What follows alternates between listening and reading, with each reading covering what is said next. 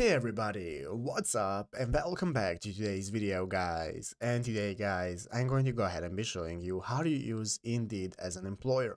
This is a very simple thing to do guys, so make sure to watch this quick and easy video till the very end and follow my steps correctly so you can make sure this works the same for you and you can do this yourself. But yeah guys, let's get straight into it.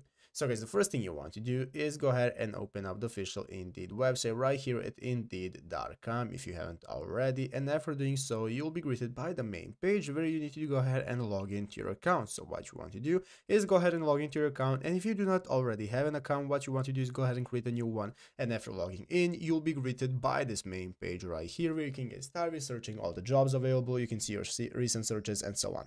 So guys, let's go ahead and see how you use Indeed as an employer. But we want to do first guys is go right here into the upper right corner and click on the employers slash post job section. Click here guys and after clicking on that. This is now going to open on the employer side of indeed where we can get started posting a job. So you can see find your new great hire click on post a job and after clicking on post a job. It's going to open up the employers.indeed website where we can go ahead and get started creating an employer account. So you want to go ahead and follow, follow out your info such as your company name all of your info. Click on continue and get to the last step to finish up your account. And if you're successfully registered, you'll be able to use Indeed as an employer.